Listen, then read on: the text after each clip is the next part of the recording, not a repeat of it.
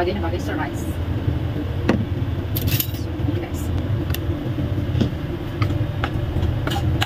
Yung sili, hindi siya masyado mangka. So, since nai-spoil na siya sa, sa ref, so it's getting, it's melting. Ayan, ginawa ko na siya, gulay. Nugasan ko muna siya bago siya nilagay. Tapos, nilagay ako ng ah, chili paste. So, hindi siya, pero hindi siya masyadong manghang. Tama na.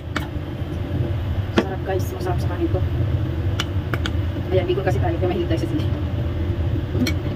The best. Discard sa pagluluto. Ayan, sobrang sarap. Kaya nyo na to guys.